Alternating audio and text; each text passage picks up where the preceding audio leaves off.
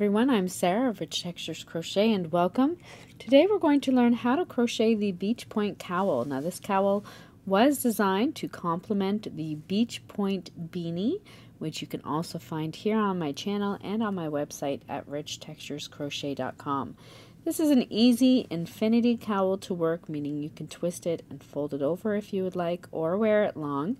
It features a beautiful shell stitch pattern it measures approximately 6 inches wide by 26 inches laid flat, so it has a circumference of about 52 inches around.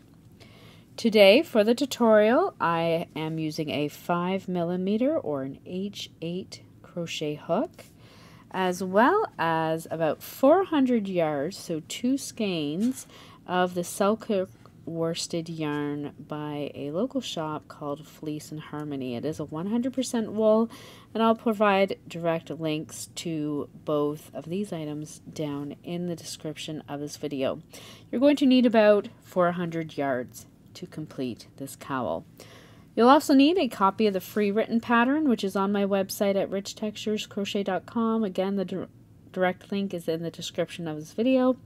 And uh, thank you so much for joining me. While you're here, don't forget to subscribe, take a look around, check out the free matching beanie pattern and uh, the many other crochet patterns that are here as well.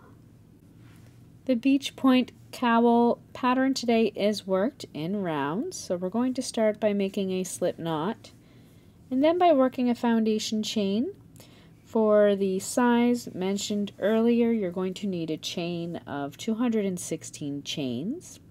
If you would like to change the size of your cowl, you will need a foundation chain with a multiple of six chains. Today, I am going to only work a small portion of the cowl just to sort of get you on the right track, so I am going to adjust the stitch count today.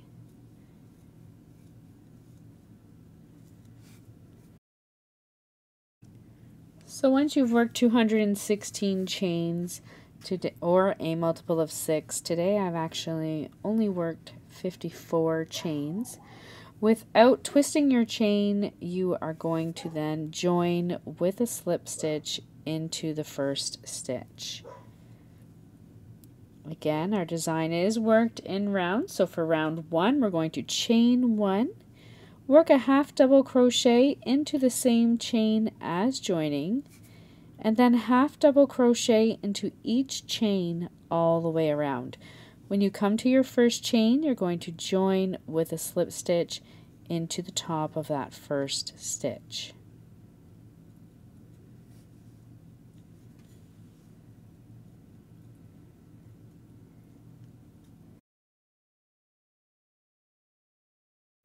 At the end of round one, you're going to join with a slip stitch into the top of your first stitch. For round two, you're going to chain one, and this is for rounds two and three, actually. We're going to work in the third loop all the way around, working half double crochet stitches. So when you're looking at your work, you have your front loop, which is the loop at the top of the stitch that's closest to you, you have your back loop, which is the loop that's furthest away from you at the top of your stitch. If you pull your stitch forward and look at the back of your half double crochet, you see a loop that runs just under your back loop. This loop here is called your third loop. So we're going to work in that stitch only. So yarn over, insert your hook under that third loop only of the first stitch, yarn over, drop a loop, yarn over and pull through three. You're going to work a half double crochet in the third loop of each stitch all the way around. Join with a slip stitch into the top of the first stitch, chain one, and repeat. So you want to work two rounds of half double crochet stitches in the third loop only, and then meet me back here at the end of round three.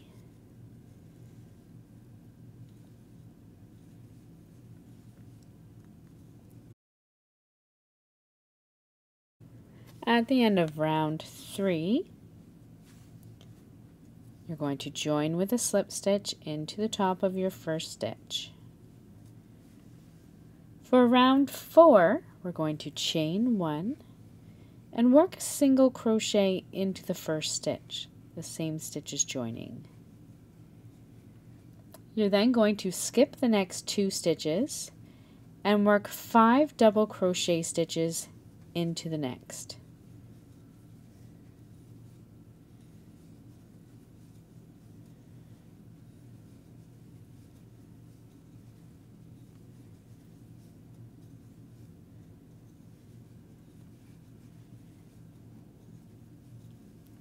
Skip the next two stitches and work a single crochet into the next. You're going to repeat that all the way around. Skip the next two stitches, work five double crochets into your next stitch,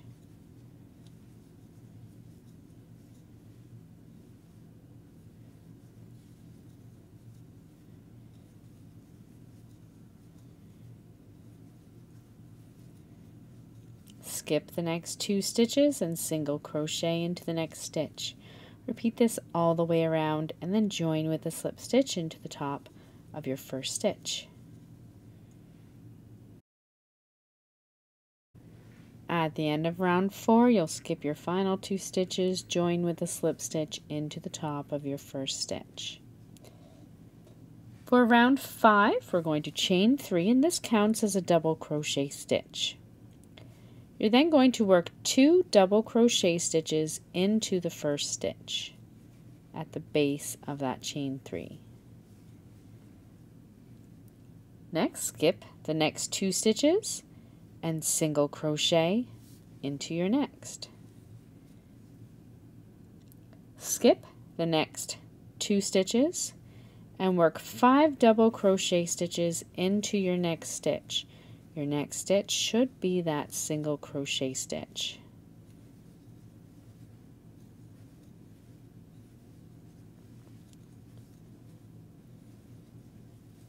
You're now going to repeat, skip the next two stitches, single crochet into the next stitch, skip the next two stitches, and work five double crochets into the next. You're going to continue that all the way around ending with a single crochet stitch when you come to your first uh, chain three.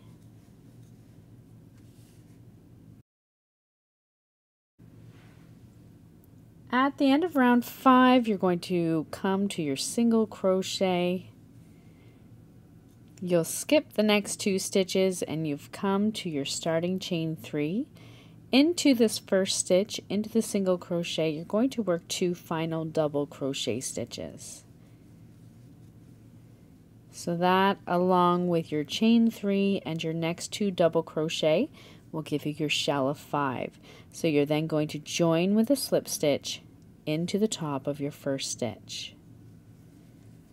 Then for the rest of the body of the pattern you're for rounds 6 through to 13 you're going to repeat rounds four and five a total of four more times.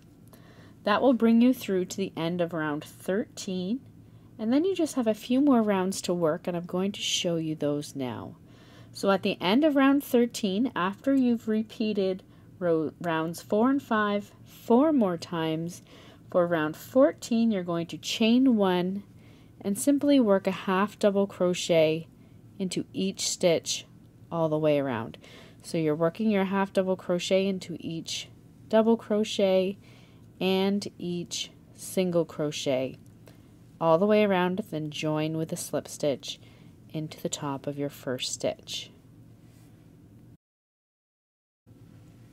At the end of round 14 you're going to join with a slip stitch into the top of your first stitch and chain one.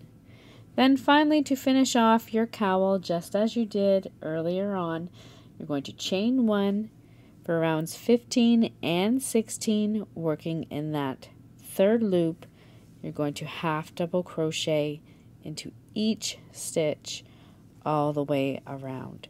When you come to your first stitch, join with a slip stitch into the top of the first stitch chain one and repeat for round 16.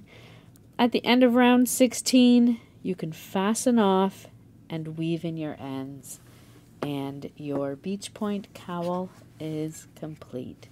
So thank you so much for joining me. Once again, I invite you to subscribe, take a look around, and I look forward to seeing you again soon for another great free crochet pattern. Until then, happy crocheting. Bye.